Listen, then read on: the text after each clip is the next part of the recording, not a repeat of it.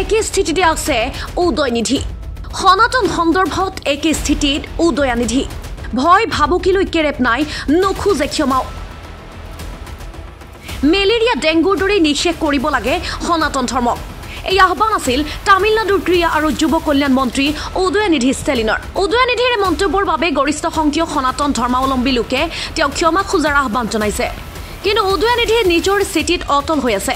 D M K নেতা উদয়নিধি ষ্টেলিনে বিজেপিৰ মন্তব্যৰ বিৰোধিতা কৰি কয় যে নতুন সংসদ ভৱন উদ্বোধনৰ সময়ত ৰাষ্ট্ৰপতি দ্ৰৌপদী মুৰ্মুক তালৈ মতা হোৱা নাছিল।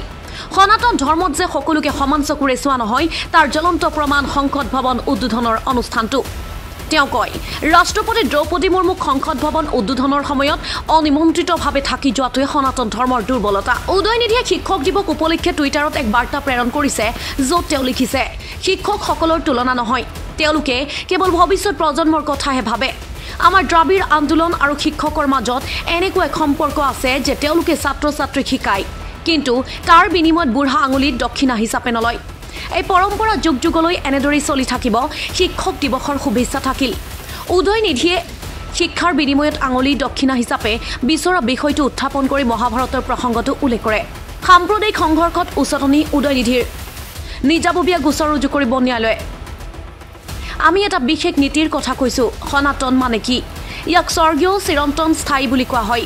আমাৰ দ্ৰাবিড় মডেলটো সদায় সলনি হয়।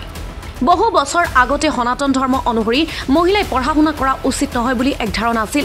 তদুপৰি প্ৰাচীন পৰম্পৰা অনুসৰি মহিলাই নিজৰ শৰীৰৰ ওপৰৰ অংশ ঢাকিব নালাগে বুলি কোৱা হৈছিল। মহিলাক মন্দিৰত প্ৰৱেশতো বাধা দিয়া হৈছিল আমি সকলোবোৰ সলনি কৰিলোঁ। উল্লেখ্য যে ডি এম কে দলে জন্ম লগ্নৰে পৰা সনাতন ধৰ্মৰ বিৰোধিতা কৰি আহিছে।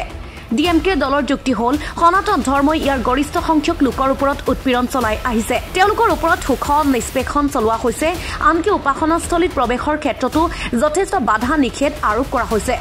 সতীদা প্ৰথাৰ দৰে কঠোৰ নিয়মৰ জৰিয়তে মহিলাৰ ওপৰত হেঁচা দিয়া হৈছিল।